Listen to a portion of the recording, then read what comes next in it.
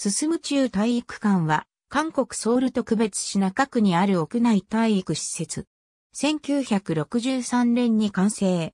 2007年までソウル市が管理していたが、その後は別の会社が運営していた。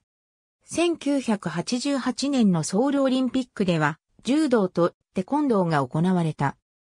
プロレスの試合会場としても利用され、1968年には、大木金太郎がバディオースチンを破ってアジアヘビー級王座を獲得したほか、1975年には新日本プロレスの韓国遠征の試合会場ともなり、大木が放置していたインターナショナルヘビー級王座にアントニオ猪木が挑戦した試合が組まれたこともある。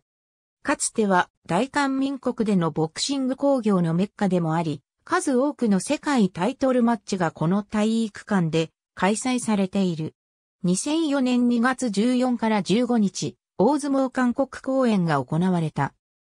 韓国出身で初の関取となった春日大勝正の活躍を受け、日韓共同未来プロジェクトの名のもとに開催されたもので、当初は2003年6月にソウル一松博の産出体育館で開催することが決定されたが、中国などでの SARS 流行に伴う渡航自粛で延期となった。